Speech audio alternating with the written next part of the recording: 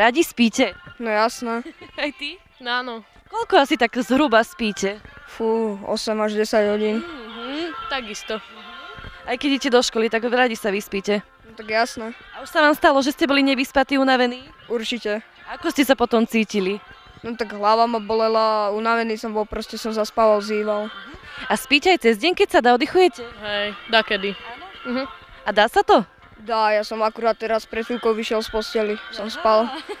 Tak dobrý oddych. Eh, V mojom veku spím rada, ale nespím dobre a nedostatočne. A prečo? Aj dôvod nám viete povedať? Zdravotné dôvody, asi aj psychické. A máte nejaké také zlepšováky, že ako, ako zaspať? Že čo tak pomáha na spanie? Počítanie ovečiek ani barančekov nepomáha, nič. Televízor.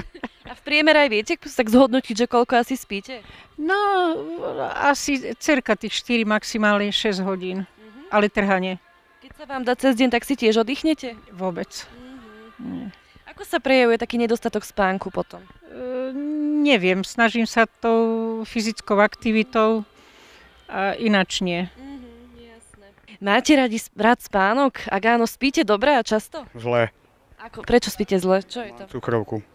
Takže zdravotné problémy. A koľko tak v priemere asi spíte denne? 4-5 hodín. A postačuje vám to? No nie. Takže a keď sa niekedy dá, tak spíte, keď máte nejaký voľný čas? No tak áno. A máte nejaký zlepšovák, aby sa vám lepšie spalo? Nie. A čo potom, keď si nevyspatý? Ako sa to prejavuje? No nejako, no. Som nevyspatý. Sú ľudia podrážení, nervózni, Áno, no. nevládzu toľko. Tak, tak. Ako cukrovka, no.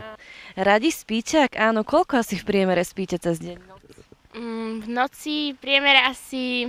No keď idem do školy, tak je to menej, ale cez víkend viac, oveľa viac. Koľko je to asi viac? Aj 12 hodín. A ty ako, dopraješ si spánok? Doprajem tiež tak nejak rovnako, okolo tých 12 hodín. A zase keď idem do školy, tak okolo, tých 8 alebo 9. Spíte dobre, alebo máte, sa vám niekedy stalo, že ste sa nevyspali až tak dobre? Predtým som zle spávala, ale teraz už spávam dobre. Čím to bolo spôsobené, že ste zle spávali? Mala som trošku zlé sny. A ty ako, dobrý spánok? Ako kedy, niekedy mám dobrý spánok, niekedy zlý. O, máte nejaké triky a zlepšováky, že ako dobre zaspať? Nie, väčšinou len vyvetrať si v izbe, aby nebolo veľmi teplo.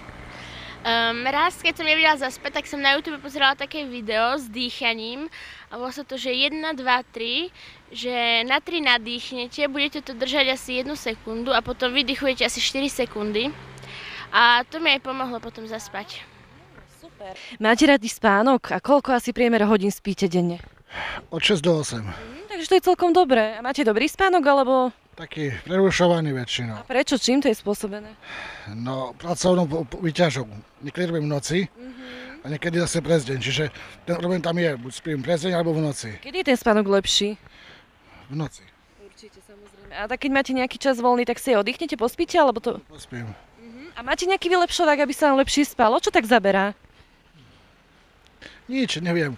Zase natiahnem a spím. No tak to máte dobre, rých, rýchlo zaspíte, hej.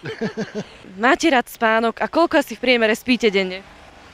6 hodín, A je to podľa vás dostačujúce? Stačí vám to? áno, A pospíte si niekedy aj cez deň, že ako keď máte čas? trošku. A myslíte si, že ľudia, ktorí dlho spia, spia zbytočne veľa? Lebo vyvrátiš 6 hodín, podľa mňa je to taký ak- akurát čas.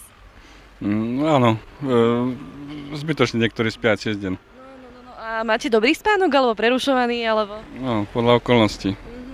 Čo vás tak najviac vyčerpáva, unavuje? Asi práca. A máte nejaké zlepšováky, že keď sa vám nedá zaspať, povedzme, že sú možno nejaké bylinky alebo niečo používate? Niektorí rátajú tie ovečky povestné, ale tak neviem, či to pomáha. Nemám nič takého, nepomáha nič. A proti nespavosti káva vám pomáha? Nie. Nie. Nie, káva nie. Koľko hodín asi v priemere spíte denne? No, rátame teda aj noc, hej. No, približne tých 8 hodín. Takže to je tak akurát. A máte dobrý spánok, alebo sa vám niekedy stalo, že ste naozaj boli nevyspatí? No, ja mám väčšinou dobrý spánok, ja zalahnem a nestačím nás počítať do 10, ja spím. Tak nemáte problémy so spánkom, hej? A už sa ale stalo sa vám niekedy, že ste boli nevyspatí. Čo potom človek, ako sa cíti? Či nepoznáte taký pocit? Tak určite pozná človek, že keď je nevyspatý, tak samozrejme ťahá na spánok a je taký malátny. A... Ale väčšinou mne sa to nestáva, ja, ja sa vyspím dobre. Spíte predovšetkým asi v noci, predpokladám? No väčšinou hej. Ale dáte si niekedy takého šlofíka aj cez deň, keď je možnosť? No keď je možnosť, tak samozrejme, prečo nie, ale veľa možností není zase. No.